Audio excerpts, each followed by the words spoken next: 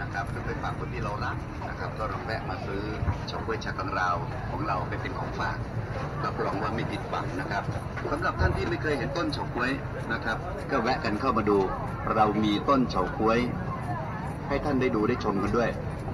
บางคนสงสัยว่าเอ๊เฉาก๊วยเนี่ยทำมาจากอะไร ของเราใช้ยางเฉาก๊วย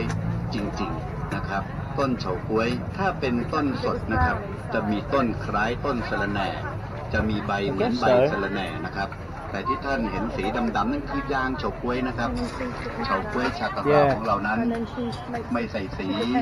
ไม่ใส่สารกันเสีย I was hoping to ไม่ see ใส่ a ผงวุ้นนะครับ ของเรา a little ใช้ feed ยาง into เฉาก๊วย there, but จริงๆนะครับ เพราะฉะนั้นความอร่อย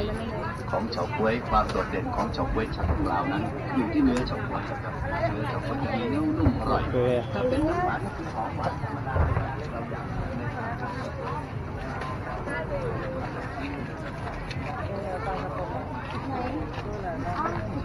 ซื้อขนมอยู่เลยไปโอกระสดเลย